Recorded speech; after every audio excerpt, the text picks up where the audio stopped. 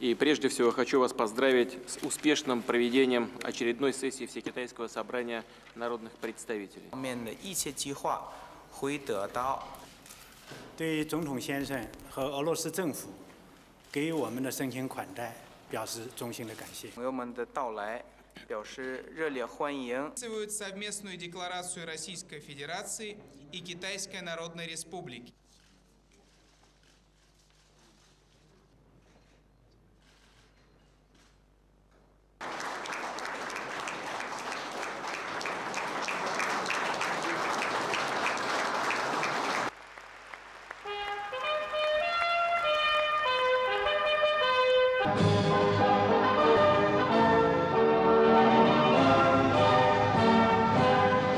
中俄两国山水相连，两国人民的友谊源远流长。自从两国确立战略协作伙伴关系以来，两国关系蓬勃发展，取得了一系列重要成果。中俄永做好邻居、好朋友、好伙伴，是两国人民的真诚愿望。也是双方国家利益的必然要求。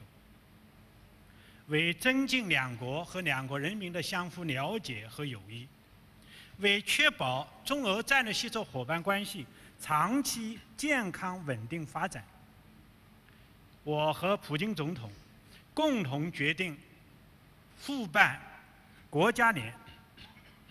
二零零六年，双方在中国成功举办俄罗斯年。